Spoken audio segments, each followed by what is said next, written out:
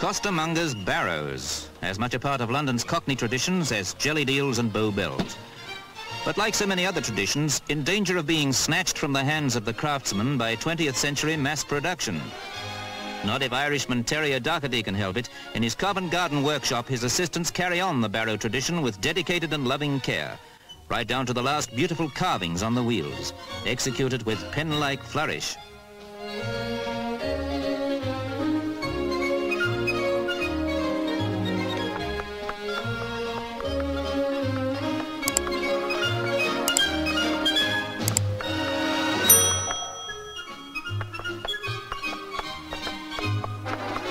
Stalls and barrows are a happy combination of business and pleasure for Terry, a hobby which is fast becoming big business. Suddenly, the tradition is in vogue once more. Carts still have a practical use, but now all sorts of people are jumping on the wagon to use them on film sets, or even as antiquated decor in trendy boutiques.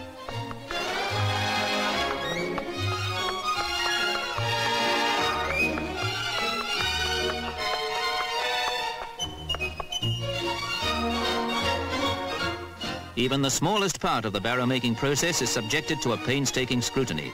Traditions die hard, and a genuine piece of old London takes time to perfect.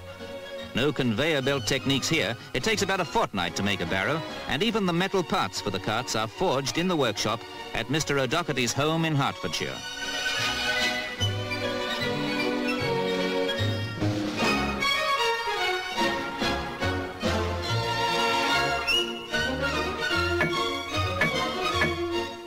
Barrows have iron-shod wheels and are made from ash.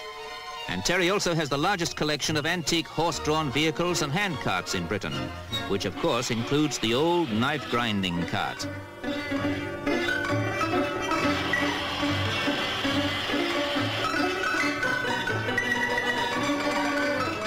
Ancient fruit barrows take pride of place too and the connoisseur's collection just wouldn't be complete without the organ grinder, but alas, minus his traditional monkey.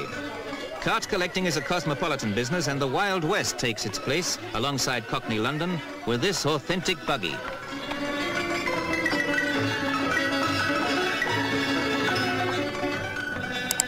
Italian Renaissance too? Yes, this colourful Sicilian lemon cart, one of Terry's most treasured possessions, reflects the exquisite craftsmanship of bygone artistry.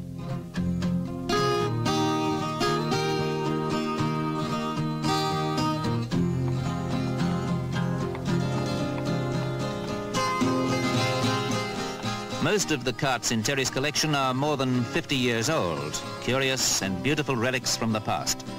But basically they all owe their existence to that most ancient of inventions, the wheel.